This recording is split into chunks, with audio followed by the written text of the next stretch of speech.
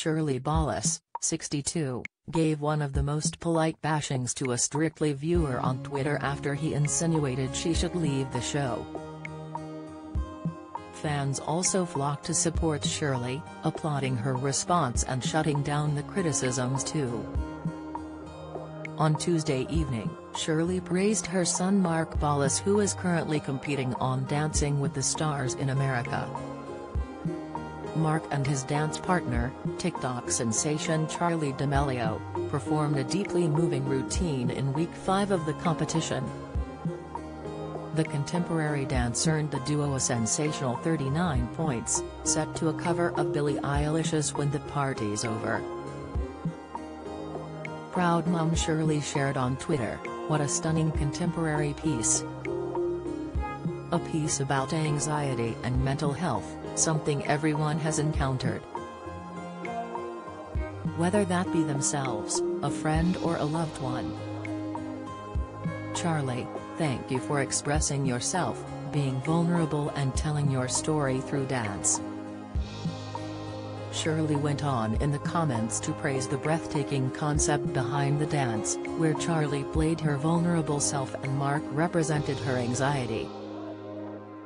She continued, You both touched the souls of so many.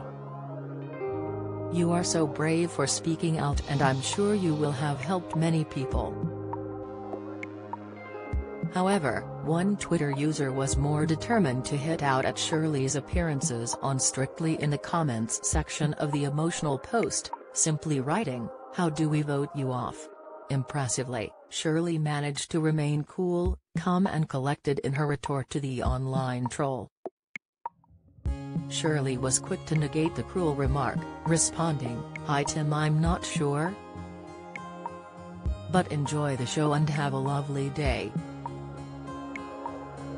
Don't miss, one fan also replied to the harsh comment, but not nearly as courteously as Shirley, saying, it's called an off button. Most tallies have them. Fans hailed the Queen of Latin for her response, with one follower noting, the only way some people can feel relevant is to get a reply from a celebrity, don't indulge him Shirley.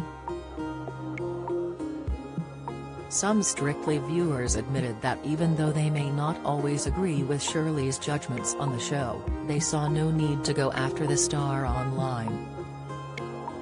One Twitter user commented, It is a show and I enjoy watching it with a wee glass of something and then shout at you all because I don't agree.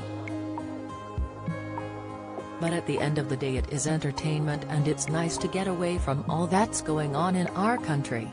Another added, I really don't understand why some people feel the need to be rude, and think it's okay. Shirley is a professional, she knows what she is doing and what she's looking for,